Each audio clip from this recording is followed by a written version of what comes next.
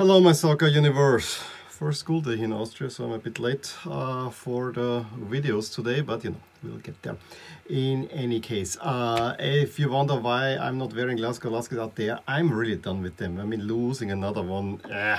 So we will spend hopefully very little time on Austria and I will focus a whole lot then on Germany. Uh, given that I didn't make a dedicated transfer video, I want to briefly touch in each league um, on the transfers as well. Just uh, telling you uh, what are the outstanding transfers in there and not uh, too much more in that, going through the games and at the end you get all the uh, facts and so on in a nice uh, montage overall. The you saw it in the thumbnail. It was a really good weekend if you're an away team. Only in both Austria and Germany. Only in the last game we got a home win, and they were eh, all of them them were everything but easy. As I said, uh, let's start in the Austrian Bundesliga, give you the results, but before that, uh, quickly, I mean, the transfer window was characterized most by Salzburg making a 50 million net transfer plus by uh, getting rid of Patson Daka and Mwepu, not getting rid, selling them for a whole lot of money to the Premier League and getting talent in, but already had, having had the talent there, uh, Adeyemi, for instance, uh, that makes them the outstanding team in the league. And as we'll see, I mean, uh, there is no way that Salzburg is not repeating as a champion, even with a totally revamped squad. Uh, among the other teams, I think there were some interesting stuff. I mean, uh, personally for Lask, it was uh, the departure of not only Ranftl, who, who was uh, to Schalke, who was uh, one, one of those main guys, but especially uh, Trauner the captain left a huge hole in the defense and they're trying to patch it up left and right. I think overall Lask was very active on the transfer market, did some really good transfers in, but uh, it's not they're not impact transfers, uh, unfortunately, and so uh, it is a whole lot of trouble going there. Uh, I think also Rapid, uh, I mean, the the other big trend, uh, trend transfer is, of course, uh, Yusuf Demir going from Rapid to Barcelona, where he is now, he, I think he got even number 11 uh, in the squad, which is another one of those transfers that no one here saw. Uh, uh, Rapid also losing quite a few players to the Bundesliga. So um, it's more the exits than the incoming players that will make the headlines. This round, as I said, all away wins except for the last one. That was only the last minute. And you know not all the way wins we had a draw in, the, in as well i mean the standard result unfortunately didn't see much is Rapid uh, losing at home to Admira Wacker despite having a 1-0 lead.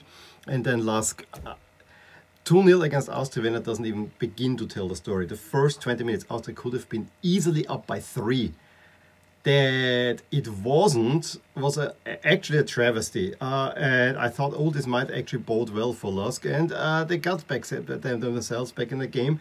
And then for most of the second half, they maybe controlled a little, little bit more. Um, but it was one of those games where you whoever scores first will win win the game. And it turns out to be Austria Wien from a dead ball situation, a corner corner kick at a moment where I think they were would have been actually quite happy with the draw at this point because they were under some pressure. But Martel gave it, yes, there was some VAR review, blah, blah, blah, blah, blah. Then uh, Lask being unlucky as always. Uh, no, no, unlucky, but also clumsy. All confidence gone it is frustrating to watch them at uh, at the moment. Knowing where we were two years ago, yes, we lost many important players, but I think everything is kind of not gelling. And um, what I'm also kind of upset about is we have tons of injuries, and I think this is now also down to the coaching team. And I really hate to say, but I think a change is in order relatively soon, and I I really hate to do it. Austria then in stoppage time adding a second one, um, which means Lask now find themselves on bottom, but it's very, very tight in this league. As I said, at the end of the video, you'll, you'll get all the other things as well um, going there. So we'll move over to the Bundesliga, uh, where again transfers first. Although you have already the, the results here, uh, I think the big result, uh, the, the big transfer transfer was of course Jadon Sancho again an exiting transfer, uh, going finally to Manchester United. But I think in Germany itself, it is kind of the pilfering of Bayern uh, of Leipzig. They got the coach, they got Upamecano, they got Sabitzer, um, and by also getting rid of some uh, quote-unquote old players like Alaba and Boateng. So also this little rejig there, uh, Bayern also having now a completely new leadership. So Rummenigge out, Hoeneß out. Uh, I'm not sure Salihamidzic, I'm not sure how long he will actually stay in there because uh, Nagelsmann better work out and they better have an outstanding season. Let's put it that way. So uh, those were, that's the main thing. But uh, Leipzig actually did get a few interesting players in, namely Andres Silva from Frankfurt uh, and also Ibrahim Konate from Liverpool. So that's not that uninteresting as well. So, you know, few things in there that uh, were probably of interest. Also, they got Ilaix Moriba so those two teams are for me the ones that, where there's the most transfer activity and uh, also Frankfurt losing a whole bunch of players and as we'll see they are they are having a hard time finding their footing. Uh, good one uh, uh, uh, Probably the other really big story is the non-transfer of Erling Haaland, who stays with Dortmund Dortmund, despite losing Sancho, getting Donyell Malen, slightly different player in, but also relatively interesting um, player. So I think it will uh, Leipzig big upheaval. They need to get going. Uh, and uh, Dortmund actually, you know, you're losing Sansa, but it's a little bit plug and play as well. So uh, maybe this will play in Dortmund's favor and I'm wearing Dortmund this time around because I think on the weekend there were many great games to watch, but Leverkusen Dortmund stood head and shoulders above them all. If you like goals, I mean, if you like defending, uh, stay away from that one. But if you like goals, this was the game to watch. Dortmund winning it 4-3, but having to come back from a deficit three times Leverkusen three times took to, to, to, took the lead uh, early on through Wirtz, horrible defending. Haaland can equalize. Um, then um, goal by Bellingham is disallowed by a foul in the build-up, which kind of da da da da da. And then you thought the game had, had, turned Schick just before the half makes it 2-1. However, an absolute blinder of, of, of, a goal where Haaland assists Brandt, who with his back heel puts it forward. I mean, great footwork, puts it into the net. This is an absolute world-class goal that looks a little bit clumsy, clumsy, clumsy at first, but it is all intended. It's wonderful, wonderfully played. Makes it 2-2, however, uh, on the back, dort, dort, dort med SMS musste Diaby uh, putting Leverkusen back in, into lead. However, then when you really thought that Leverkusen actually might have pulled away Dortmund, uh, Rafa Guerreiro with a great free kick, another wonderful goal, makes it 3-3 again.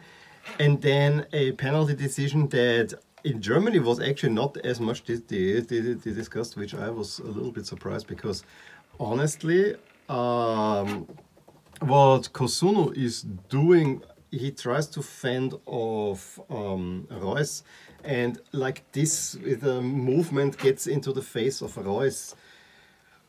I thought it was a soft penalty. This was not intended to slap him in the face he just wanted to block it off. Yes, it looks a little bit weird in replay, but if you look at it in real time, yeah, the, the hand lands in face and maybe, yeah, uh, rules, blah, blah, blah. I found it. I honestly found it a soft penalty. Haaland pulled, pulled to the way, and then the Leverkusen fans, who are this family club, yeah, they're throwing all kinds of uh, drinking cups at him, Haaland actually thought about drinking from one, but in the last second he pulled it away, which was also not that smart, smart, smart too. I actually thought when he was celebrating, and it was right in front of the Leverkusen stands, um, I had the feeling that he wanted to do his general celebration, but then he held back because he didn't want to incite a riot or whatever. Well, he in a way did any, any, anyway. But you gotta say, I mean, what I have to give to Haaland is is instinct and hunger for goals. He is exactly there where he needs to be. Yes, for penalty, penalty. Great game. Absolutely great, great game. Maybe a draw would have been deserved in that one. Uh, also, Freiburg, Köln. Köln actually should probably have won this one. Um, they had enough chances, uh, but a yellow, red, stupid yellow red for Kainz, where he shoves an opponent with already having a yellow. He gets assets and sent off off with a second yellow and then an on goal. But Chicos sends it to 1 1. Wolfsburg continue their great start with a less than convincing win over Greuther Fürth, but a win nonetheless. Um, in the 10th already putting Wolfsburg on the way. Greuther Fürth I think Greuther Fürth is one of those teams that will get relegated. Uh, they really look outclassed there. And very late on, uh, Wout Weghorst puts them on, on, on the way. I think since they will be playing Champions League was little bit of a so and so they didn't put in their full performance there. Mainz get a win. Hoffenheim, uh, uh, Augsburg is very interesting. They uh, ship four at home and managed to stay goalless, goal, goal goals away from home. The big, the other big one was of course Leipzig against Bayern, which Bayern clinically I think the score, the final scoreline was a little bit uh, too harsh. It was also with uh, handball calls or you know the penalty calls. Second minute, maybe Thomas Müller, maybe handball in his own box, and then Leipzig would have to would get an early penalty. but then uh, on the other side, a nothing situation. Uh, no one is complaining, and suddenly the VAR says, "Yeah, here it goes," and Lewandowski gets in a 12-minute penalty, and that kind of set the tone. Leipzig just couldn't. They invested a lot and got very little out of it. Um, they after the half, Musiala took over. He scores a, a, great, great, great goal to make it 2 0. Then Andre Silva thought he had put one back, just fractional offside. Uh, it was, with you could see it with your um, naked eye. Uh, and then Sané makes it 3 0, and that, that, that, that, that is the game. Uh, four minutes later, Lima with a great shot from far out, but it was nothing happening. Choupo-Moting makes it 4 1. It was a game where, you know, the margins all decided for Bayern. The scoreline was a little bit too high in for my feeling. However, Bayern was the deserved winner there. I have not seen much of the other games. I saw maybe the last 20, uh, the last 20 minutes of Gladbach against Bielefeld, where they were repeating um, that yes, is a 3-1. The scoreline is very clear. I saw the third goal from uh, Zakaria, uh, but uh, it was really, really, really, really tight for uh, Gladbach for most of the time. So with that, we have now that uh, Wolfsburg continued a great start, Bayern and Dortmund moving up, uh, Leverkusen moving a little bit down, and Leipzig really, really, really down there as well. And so that was it for this week. I leave you with all the stats, tables, and so on that, that you would like, like to have at the end of this video.